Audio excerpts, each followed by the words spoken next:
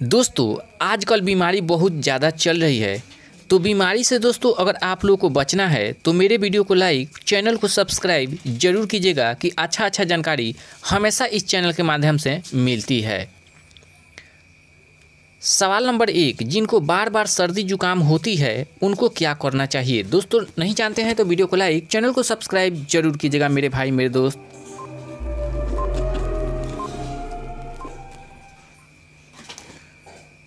दोस्तों, इसका सही आंसर है, ठंडा सामान से बचना चाहिए। ठंडा सामान बहुत ही कम खाना चाहिए। जिन लोगों को बार बार सर्दी जुकाम होती है, उनको।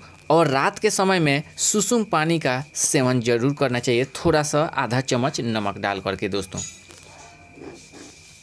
सवाल नंबर दो, लगातार कितना दिन अमरूद खाने से सर्दी जुकाम शरीर में पकड़ लेता है? दोस्तों, अगर आप लोग नहीं जानते हैं तो वीडियो को लाइक, चैनल को सब्सक्राइब ज़रूर कीजिएगा।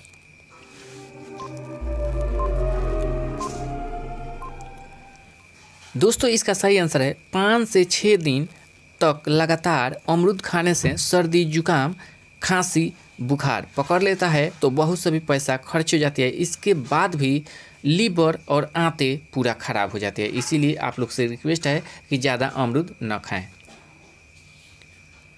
सवाल नंबर तीन, आँखों की रोशनी अच्छा रखने के लिए क्या खाना चाहिए? दोस्तों, नहीं जानते हैं तो वीडियो को लाइक, चैनल को सब्सक्राइब ज़रूर कीजिएगा मेरे दोस्त।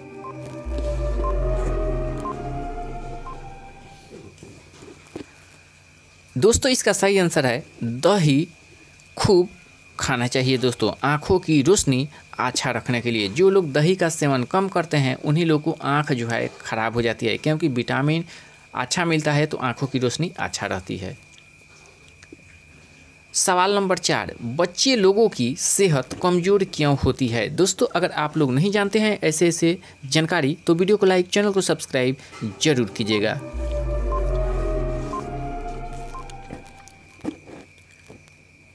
दोस्तों, इसका सही आंसर है, बचपन में बच्चे लोगों को दूध नहीं भरपूर मिलने के कारण सेहत कमज़ोर हो जाती है। वही जो बच्चा है, उसकी हाइट भी कम हो जाती है। इसीलिए दूध ज़्यादा मात्रा में उनको खिलाना चाहिए दोस्तों। सवाल नंबर पाँच, चना की सब्ज़ी किस मौसम में ज़्यादा फ़ायदा करता है? दोस्तों, नहीं जानते हैं तो वीडियो को लाइक चैनल को सब्सक्राइब मेरे दोस्त तुरंत और जल्दी कीजिएगा।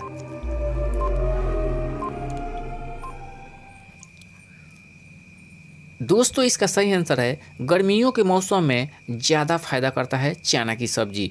जिन लोगों को पेट में गैस बनती है, उनको चना की सब्ज़ी उबाल करके खूब खाना चाहिए। और उबालने के बाद में थोड़ा सा नमक डाल दें, उसके बाद में खाएँ। आपकी पेट की गैस बिल्कुल नहीं बनेगी। थैंक यू दोस्तों।